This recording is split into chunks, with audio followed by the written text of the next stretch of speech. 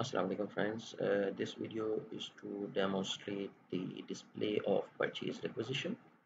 So we are here in the logistics uh, materials management purchasing purchase requisition and then display. So the T code is ME53N so as I have uh, been using this T code uh, since uh, very long. So I am actually taken to the last purchase requisition being displayed by me. But uh, you might come up with some different screen. Whatever screen you come up with you can call for a purchase requisition from this button. So you can just call other purchase requisition and the system will open up a window where you can enter the purchase requisition number. So here is this window. So if we know the purchase requisition number we can straight away enter the requisition number here. So for example I know there is a purchase requisition with number 100000610 and by the way we can call the purchase order from here as well but we are right now in the purchase requisition mode. So we just press enter and the system shows the purchase requisition so to uh, in order to just uh, understand the entire structure of this purchase requisition document being displayed uh, again we know there there are three parts of the document the document header the item overview and the item detail. So if we expand the header of the purchase requisition uh, we don't have that much amount of information. It is only the header note or the header text that is the order of helmets for selling so this is a purchase requisition for helmets. So it's only text.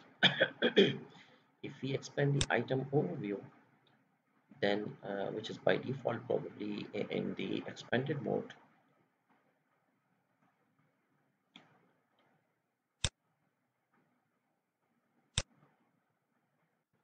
So this is the expanded mode of the item overview and we see that uh, there is a plenty of good, amount of information here.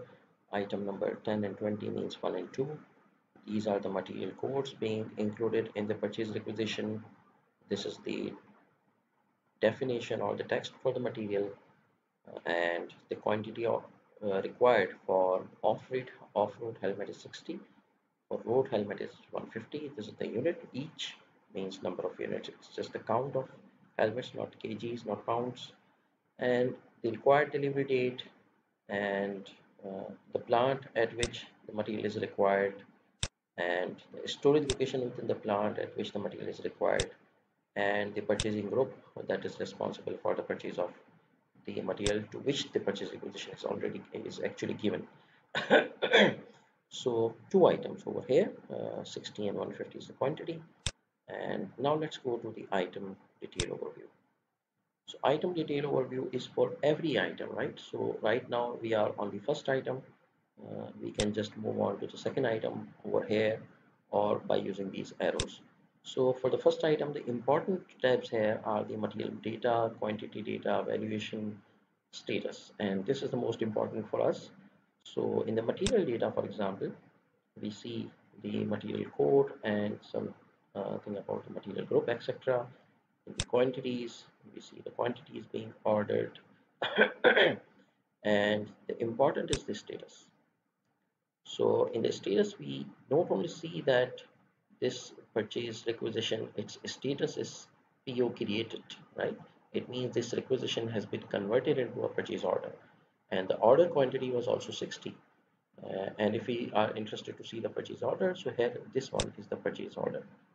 And uh, uh, this is uh, the uh, one item. Uh, so 60 quantity for this particular item the quantity was 60 so the purchase order quantities were also 60 not only that the purchase order has been made but it also shows that the goods received gr is also uh, executed. So goods have also been received 60 and the invoice is also received from the vendor for the good receipt.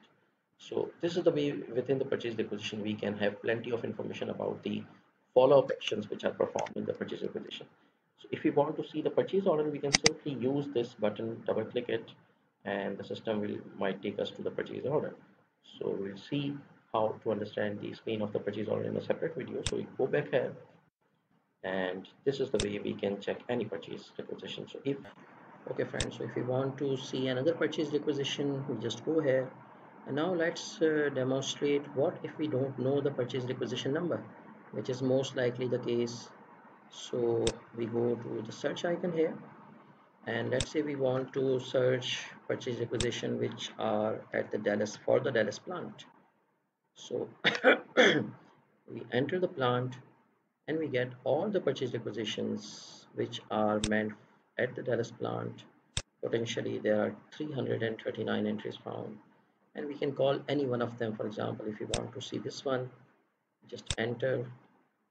And this is the purchase requisition number. And just press enter. And we can see the purchase requisition that this is for the material TRFR shooting frame bike and if we see the status it is not edited not blocked point order quantity zero. There is no information about the purchase order. It means this purchase requisition has not been followed upon and there is no subsequent action on this purchase requisition. Let's go again here. And again for the filter.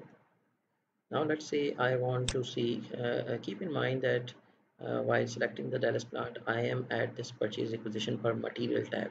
So there are different search tabs. The, probably when you will first time come to this window you will be on this screen right? So you will have to go to the purchase requisition per material because this is something we are concerned with right now. So rather than plant, I can mention the material as well. For example, if I want to see the purchase requisition for TRFR 1000, this is the material I'm concerned with. So I just press enter and the system at the status bar mentions there is no value for this material. So let's try another material.